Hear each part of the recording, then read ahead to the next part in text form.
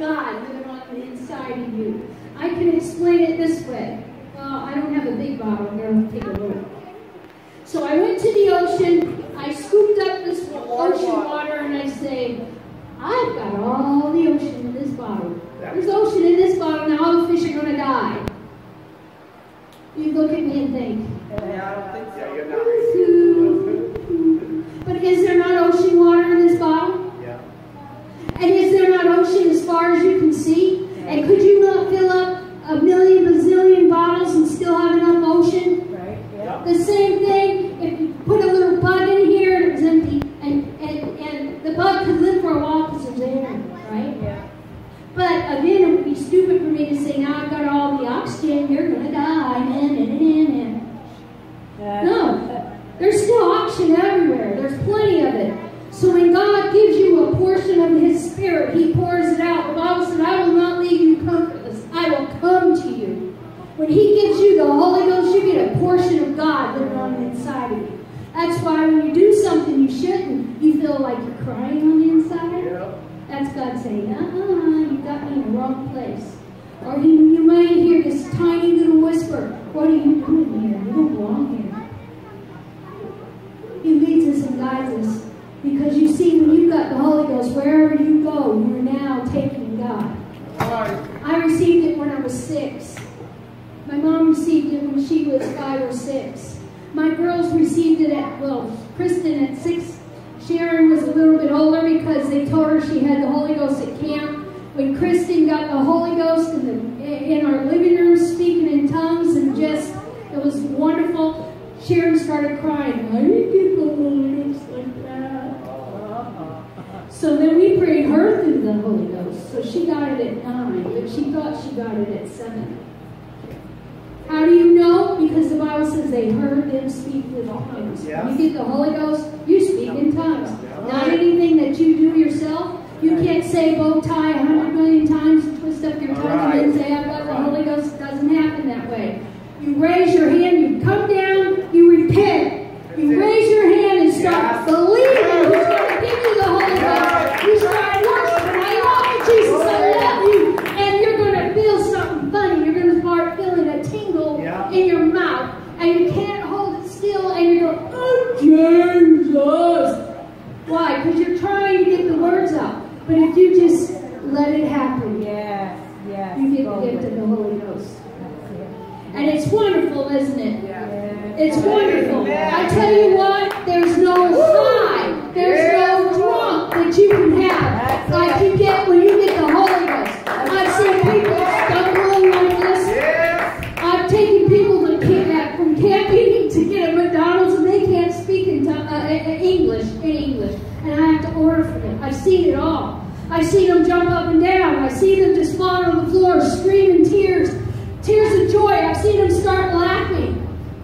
But 100% they always get up and give everybody around them a hug. So Oh, we're yeah. warning and declaring for somebody that gets the Holy Ghost, and you don't want to hug, step back. Why? Because you get the love of God inside, Yeah. and it's unbelievable. Oh, you can't explain it, and you can actually love more because now you got God's love on the inside. Thank you, Jesus. It's kind of a freebie. That wasn't what I was going to preach on. All right. I'm just going to touch on this real quick. Why we worship. If we can have 1 Peter 2 9. Why do we worship the way that we do? But ye are a chosen generation, Yeah. a royal Yeah. priesthood, a holy nation, a peculiar people, that you should show forth the praises of him who hath called you out of darkness into his marvelous Marvelous. light. Oh, oh, oh. Psalms 5. 3 through 5, 7 through 8, 11 through 12. My voice shalt thou hear in the morning, O Lord. In the morning will I direct my prayer unto thee and look up. For thou art not a God that hath pleasure in wickedness, neither shall evil dwell with thee. The foolish man will not stand in thy sight. Thou hatest all workers of iniquity. But as for me, I will come into thy house in the multitude of thy mercy, and in thy fear will I worship towards the holy temple. Lead me, O Lord, in thy righteousness. because my enemies make thy way straight before my face. But let all those that put their trust in thee, put their trust in thee, rejoice. Let them ever shout for joy, because thou defendest them. Let them also that love thy name be joyful in thee. For thou, Lord, wilt bless the righteous. With favor wilt thou compass him as with a shield. Pastor Wilson has said, you don't know the times that you have been protected. Right. I know some of those times, but I know I don't know them all. I do know a time that I got lost in Philadelphia, Pennsylvania at 17, and I got down into the bad part of town. And believe me, I know what the bad part of town is because I come from St. Louis, Missouri area.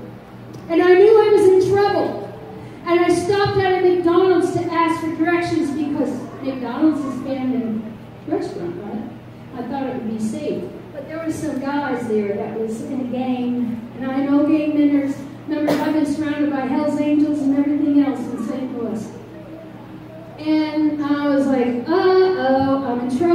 So I walked out and I said, Lord, protect me, please help me. And they were following me. We came around the corner and they said,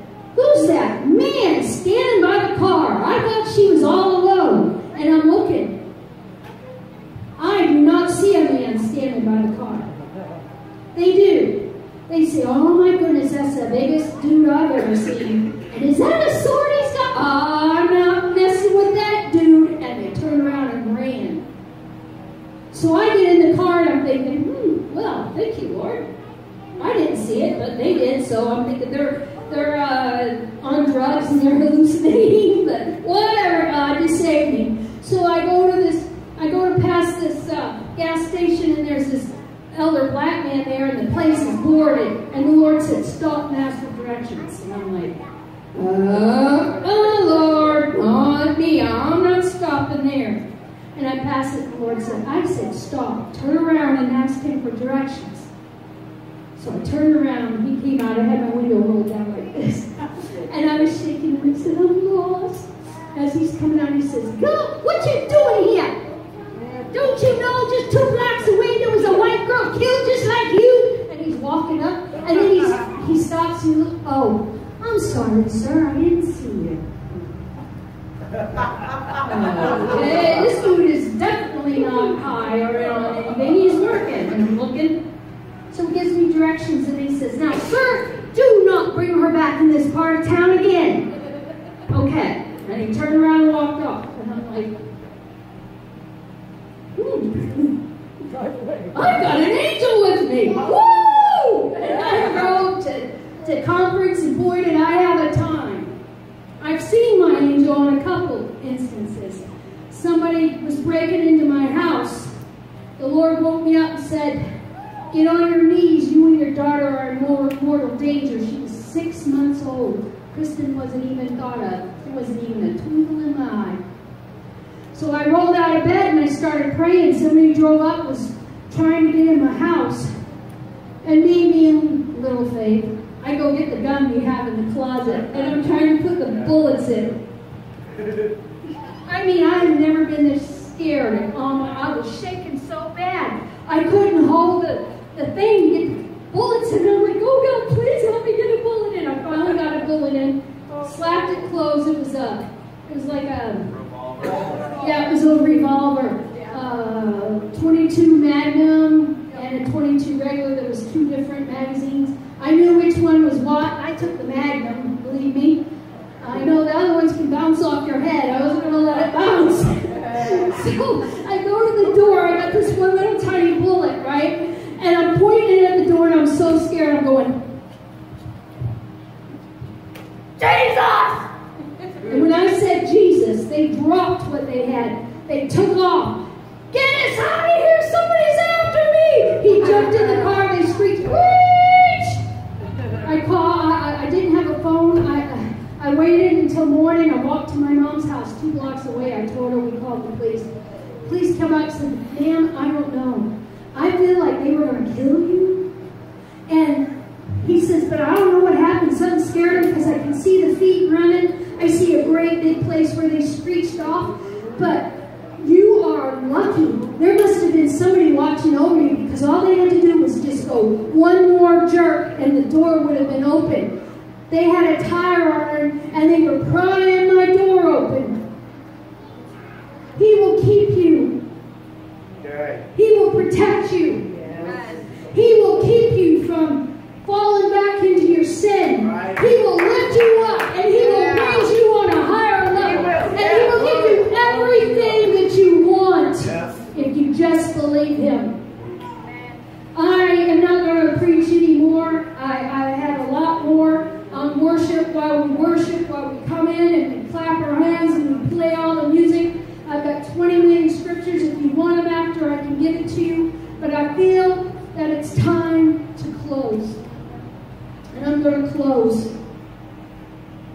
So, Pastor will go to the uh, piano. I just want to ask you today do you want to change life? Yes. Do you want to feel the presence of God in a way that's more mighty than you've ever felt in your life? Do you want to give Him your life? If you do, the altar is open. If there's any of you who want to re- make your consecration, the altar is open. I'm telling you, God can work miracles today. He can work healings. I've been raised from my deathbed twice. I've been in